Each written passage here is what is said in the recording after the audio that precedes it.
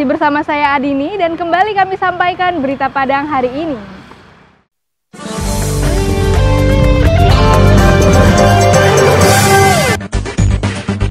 Hujan lebat yang mengguyur kota Padang beberapa hari terakhir mengakibatkan terjadi banjir di sejumlah lokasi.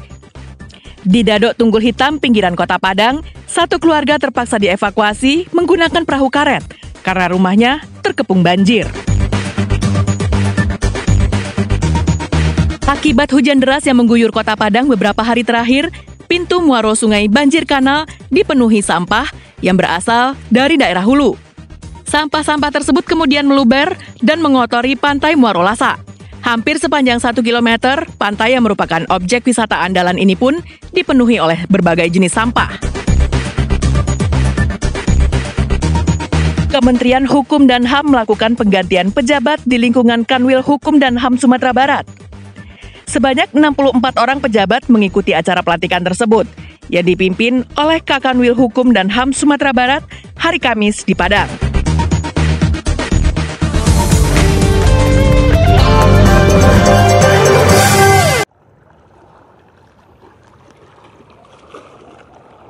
Satu keluarga di Parak Jambu, Kelurahan Dadok, Tunggul Hitam, pinggiran kota Padang pada Jumat pagi terpaksa dievakuasi menggunakan perahu karet. Pasalnya sejak Jumat dini hari, ketinggian air di dalam rumahnya semakin bertambah. Akibatnya warga yang hendak beraktivitas tidak bisa keluar rumah karena dikepung banjir. Badan Penanggulangan Bencana Daerah Kota Padang melakukan upaya pertolongan. Dengan sebuah perahu karet, anggota keluarga di dalam rumah itu dievakuasi petugas ke lokasi yang lebih aman. Menurut warga selama ini daerah tempat tinggalnya tak pernah digenangi banjir. Namun pada Jumat pagi keadaan berubah akibat hujan deras yang melanda daerah itu sejak Kamis pagi. Pada Jumat dini hari, air secara perlahan mulai memasuki rumah-rumah warga dan dalam waktu yang singkat ketinggian air bertambah dengan cepat. Menjelang pagi di dalam rumah warga, air telah tergenang setinggi 1 meter. Kejadian tadi malam. Tadi malam, Bu? Yo, naik airnya, awak nak tahu udah kasinta jam sebalik malam.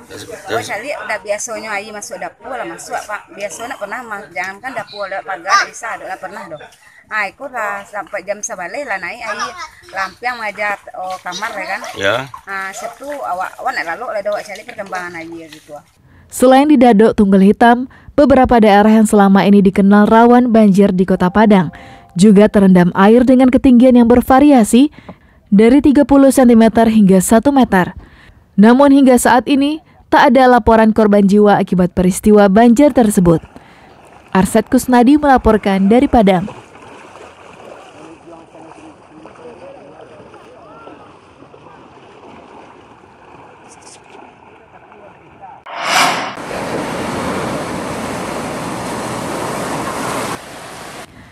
Tumpukan sampah di sepanjang pantai Padang selalu terjadi usai deras dan banjir yang melanda kota Padang.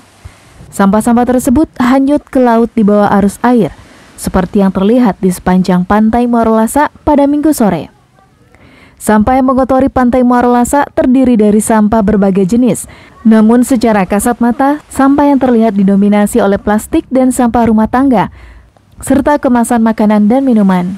Salah seorang pengunjung pantai Muarolasa berharap pemerintah Kota Padang mempunyai solusi yang jitu untuk mengatasi permasalahan sampah yang selalu mengotori pantai Muarolasa usai Padang diguyur hujan deras. Pemerintah Kota Padang harus mempunyai strategi yang pas agar permasalahan seperti ini tak selalu terjadi berulang kali.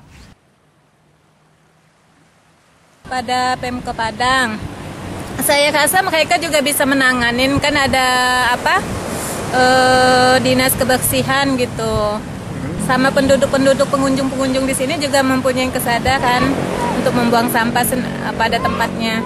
Gini aja, kalau bagi pengunjung atau turis-turis uh, membuang sampah pada tempatnya.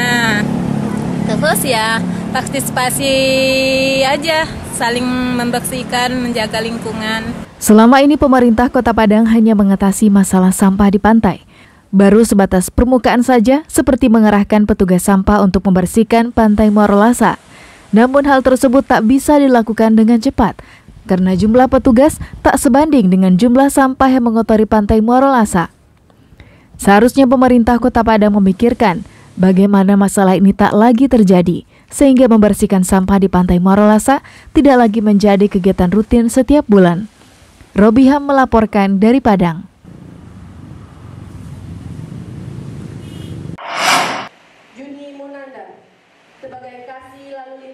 64 orang pejabat yang dilantik oleh Kekanwil Hukum dan HAM Sumatera Barat merupakan mutasi besar-besaran pada awal tahun 2020. Mutasi ini berdasarkan tiga surat keputusan yang ditandatangani langsung oleh Menteri Hukum dan HAM dan dua surat keputusan yang ditandatangani oleh Sekretaris Kemenkumham.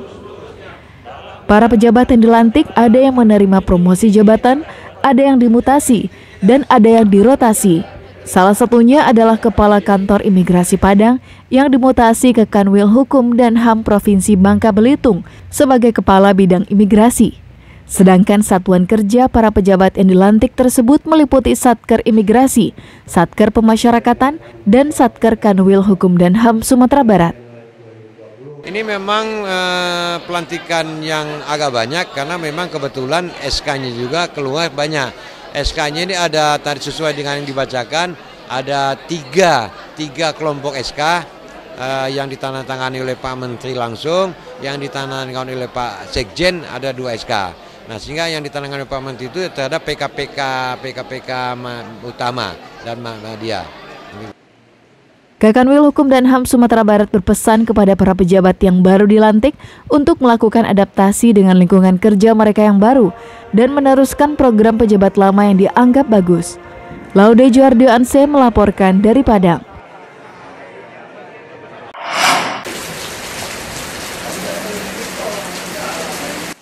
Anggota Komisi 2 DPRD Sumatera Barat yang dipimpin ketuanya Arkadius meninjau kesiapan lokasi penestani di kawasan Islamic Center Asrama Haji di Kecamatan Batang Anai, Kabupaten Padang, Pariaman. Para anggota dewan ini meminta keterangan terkait kesiapan lahan, kesiapan tanaman, dan kesiapan lokasi acara. Hal itu perlu dilakukan mengingat pembukaan, pameran, dan gelar teknologi pada penestani yang bakal digelar pada Juni 2020 ini dipusatkan di Padang Pariaman. Arkadius menyayangkan panitia daerah yang tidak memanfaatkan waktu yang cukup lama untuk mempersiapkan penanaman dan ikon gebiar teknologi secara baik. Untuk menyongsong pelaksanaan panas tani, pemerintah Kabupaten Padang Pariaman telah menyediakan lahan seluas 28 hektar. Dari jumlah tersebut, 10 hektar di antaranya telah dibersihkan dan siap digunakan untuk kegiatan pendukung. Komisi 2 DPRD Sumatera Barat mewanti-wanti agar panitia menyiapkan sejak dini jenis tanaman yang akan dikembangkan, baik untuk jenis tanaman padi maupun untuk tanaman hortikultura.